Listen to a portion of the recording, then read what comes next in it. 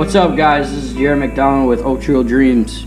Drew wanted me to let let you guys know on a story on this beautiful deer that I shot November 28th. It's a nice tall eight. It's not super tall and wide that I really wanted to that I was looking forward to targeting, but it's a really beautiful deer. The reason why you guys don't see the full body is because I shot it November 28th and it was recovered on December 5th. So the story of that I'm about to tell is I went out that night on the 28th. Didn't see nothing that morning on top of the fields. I go down into the valley and on the next hill above the valley and I sat there all night, nothing. Her mom shot shot at at four does, got one out of the four at 200 some yards.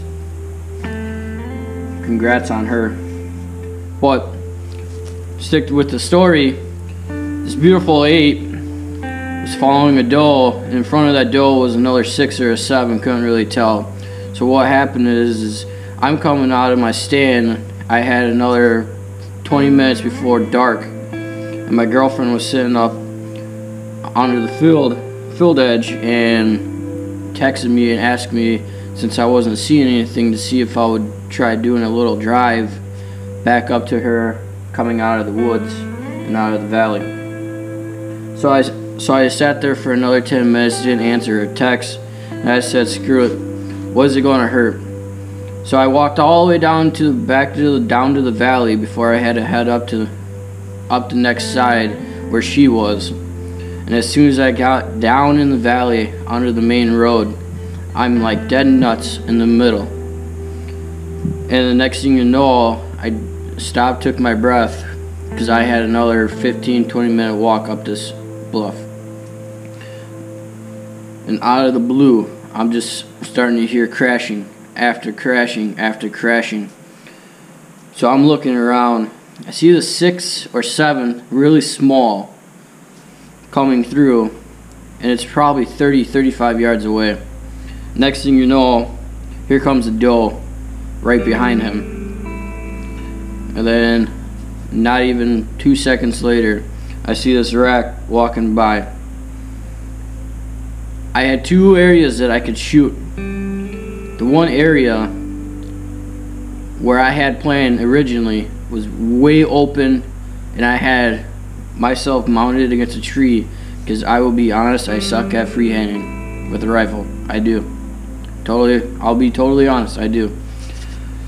So the doe got too far ahead and then he's like, oh shit, she's getting away. So she pretty much, he pretty much got up hurried up and got right on her tailbone because he was chasing her. Then the next thing you know, he ran right through my first shooting lane and I couldn't even get the scope on him. So I had not even 10 seconds to pick one more other spot that I had and it was probably a hole about like this big to shoot through.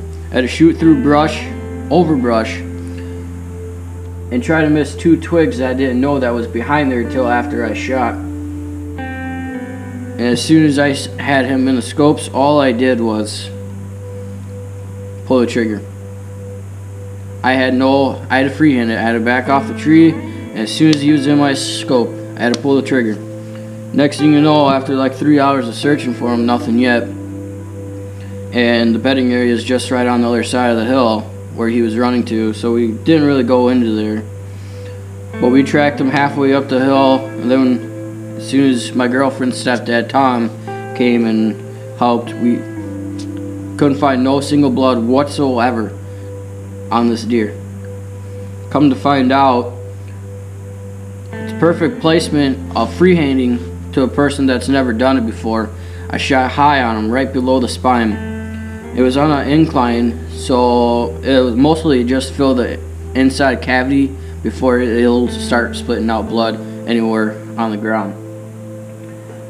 After which, it's uh, we called it a night. Didn't really go search for him again because on the our thoughts we hit him, no blood whatsoever.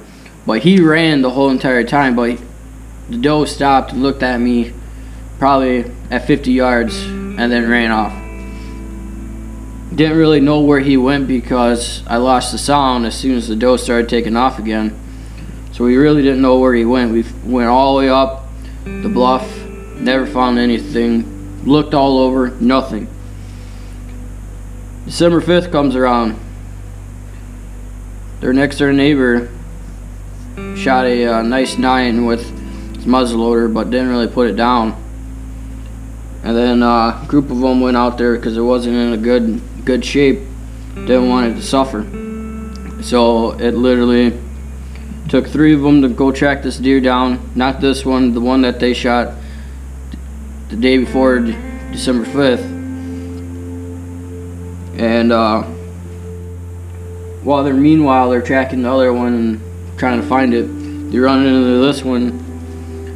And yeah, it just it has me happy. No one believes me. I put the scope to it, and there's two identical areas that tell me tells me that it's my buck through the scope. Otherwise, through pictures and text messages, I can't know what it is. But this is the same identical deer that I shot November 28th, and I'll I'll claim it and take pride of it because it's everything matches up of that night. Once you miss a deer, you never get that image out of your head and it keeps replaying and replaying and replaying if it's on a deer like this. If it's on a four or a spike, you're just going to forget about it because of how small it is. This is my biggest buck of this year in my life so far. And I'm proud, and right now I'm shaking. And I'm proud of myself. I passed up so many deer, and I even passed him up early bow season, which is a shame because I just bought a new bow and I wanted to really, really put down a smackdown on one with my VXR that I have. But this is amazing, guys. I just wanted to share the story and share the happiness that I have with you guys.